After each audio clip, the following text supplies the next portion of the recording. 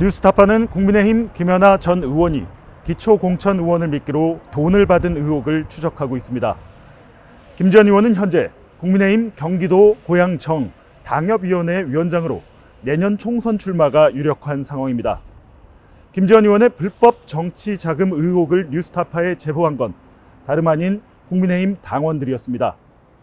뉴스타파는 이 의혹의 실체를 밝혀줄 만한 내부자의 증언과 문건 그리고 녹음 파일을 입수했습니다. 뉴스타파가 확보한 당협 내부 문건에는 운영회비라는 명목으로 2021년 2월부터 1년간 3,200만 원을 모금한 사실이 기록됐습니다. 선거관리위원회에 신고하지 않은 차명 계좌를 이용했습니다. 여기에 현금 돈봉투 1천만 원, 그리고 시의원이 대신 내준 사무실 보증금 1,500만 원까지 김전 의원의 불법 정치 자금으로 의심받는 액수는 약 5,700만 원입니다. 회계 책임자였던 이강환 전 당협 사무국장은 김 전 의원도 불법이란 사실을 알았다고 주장합니다. 국회의원을 했던 분이 이걸 불법이라는 걸 모를 수가 있습니까? 저도 좀 개인적으로 그거를 이게 좀 문제가 되지 않습니까 라고 몇번 제의를 드렸거든요. 예, 드렸더니 뭐 본인 이름이 아니기 때문에 관계가 없다. 회비 납부는 공천을 받기 위한 필수 관문이었다고 합니다. 시의원들은 200, 운영위원은 120. 그거는 뭐 정해진 가격이다 보니까 예, 가격입니다. 가격. 그게 뭐 회비가 아니라 정한 것도 운영위원 저기 당협위원장이고. 현직 시의원들은 회비를 현찰로 내라는 지시를 받았다고 합니다. 그래서 시의원 두 명은 계좌로 입금했다가 돌려받은 뒤 다시 현찰로 냈습니다. 이렇게 현찰로 내면 직불이라고 적었습니다. 현직 시의원들은 200만 원씩 세 분 중에 두 분은 입금을 하셨고 다시 되돌려 갔다가 왜 되돌려 줬냐 그것은 현금으로 가져오라고 지시를 하셔서 제가 다시 환불해 주라고 이 간사에게 얘기를 해서 다시 환불이 되었고요. 추후에 한 1년에 지금 일정의 시간이 좀 지난 후에 그분도 같이 세 분이 같이 같은 날 봉투에 200만 원씩을 넣어서 어, 전달한 걸로 알고 있습니다. 이전 국장은 현직 시의원 3명이 김 전 의원에게 돈 봉투를 상납할 당시를 정확히 기억했습니다. 그때 현장에 계셨어요? 네, 있었습니다. 그때 어떤 뭐, 어떤 자리였나요? 운영위원회 회의 자리였고요. 회의가 다 끝나고 그 큰 대회의실 옆에 작은 방이 두 개가 있거든요. 그 안으로 들어가셨고 그 문을 제가 닫아드렸습니다.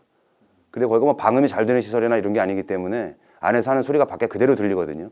네, 그래서 어, 저희 세 명 거 200만 원씩 세 명 거라고 얘기하는 소리를 제가 들었고요. 네, 그렇게 세 분이 들어가셨다가 한 분 한분 차례대로 나오는 것까지 제가 다 옆에서 목격을 했습니다. 뉴스타파는 취재 과정에서 돈 봉투가 건네질 당시에 현장에서 녹음된 음성 파일을 입수했습니다. 지난해 1월 21일 김 전 의원의 사무실에 운영위원 등 약 20명이 모였습니다. 회의가 끝난 뒤 현직 고양시 의원 3명은 회의실 옆에 있는 방으로 들어갔습니다. 이후 이 방에 들어온 김 전 의원이 고양시 의원 3명과 나눈 대화 내용입니다. 네.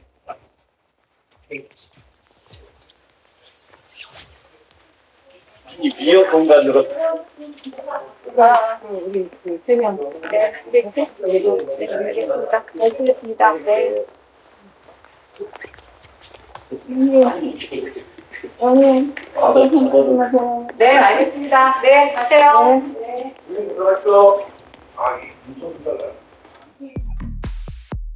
의원 B가 우리 3명이라고 말을 하자 김전 의원은 200씩 네 알겠습니다. 잘 쓰겠습니다라고 답합니다.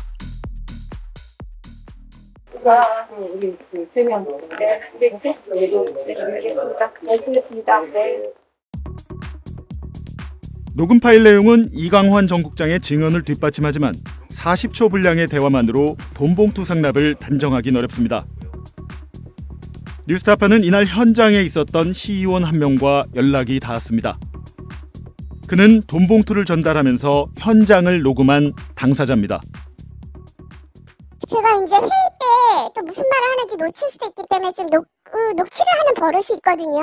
예. 이제 또 그거 또 놓치지 않고 다시 점검하고 이러는 스타일인데 그때도 이제 같은 케이스예요. 그래서 저 핸드폰이 이제 켜, 녹음이 켜 있는 상태였고 주머니에. 근데 돈을 또 시원들한테도 통장으로 이제 걷었다가 또 다시 돌려주고 현찰로 가져오라 그런 거예요. 현찰로. 아, 현찰로. 자신이 방에 들어가 돈 봉투를 어떻게 건넸는지도 자세히 설명했습니다. 전체 회의가 끝나고 나서 거기에 이제 조그만 작은 방이 깔려 있어요. 왜? 룸 안에 룸 있잖아. 네. 글로 이제 나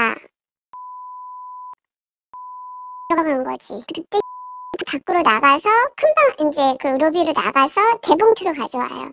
그래서 거기다 이제 누라고 집어넣으라고 손짓을 해. 그래서 우리 집어넣었어. 그리고 들고 그랬더니 이제 김연아 의원이 밖에 사람들 가는 거 인사하면서 네. 들어와요 방으로.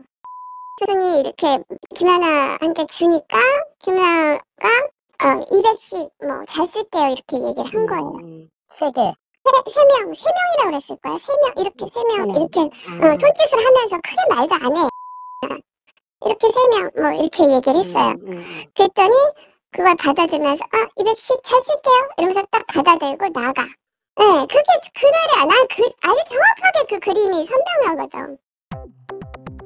녹음 파일과 증언을 종합하면 김연아 전 의원이 시의원 3명에게 현금 200만 원씩 가져오라고 말을 했고 이날 3명은 각자 200만 원씩 객출해 큰 봉투에 현금 600만 원을 담은 뒤 김 전 의원에게 직접 돈 봉투를 건넸다는 주장입니다. 지난 21일 뉴스타파 보도 후 김연아 전 의원은 자신의 SNS를 통해 회비는 운영위원들이 자발적으로 걷었다고 해명했습니다. 또 돈 봉투를 요구한 적도 받은 적도 없다고 반박했습니다.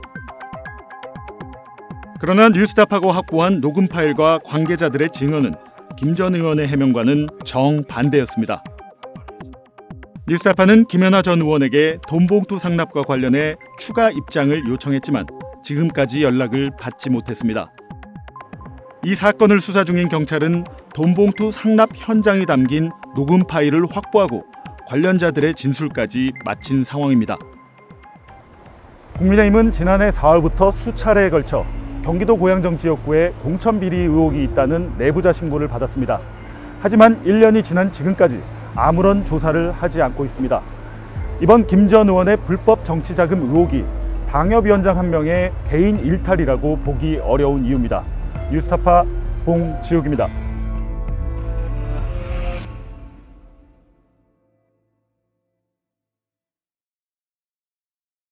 내 목숨을 걸어서라도 지키려고 하는 것은 국가가 아니야. 난 분명히 소위 애국 이런 것이 아니야. 진실이야.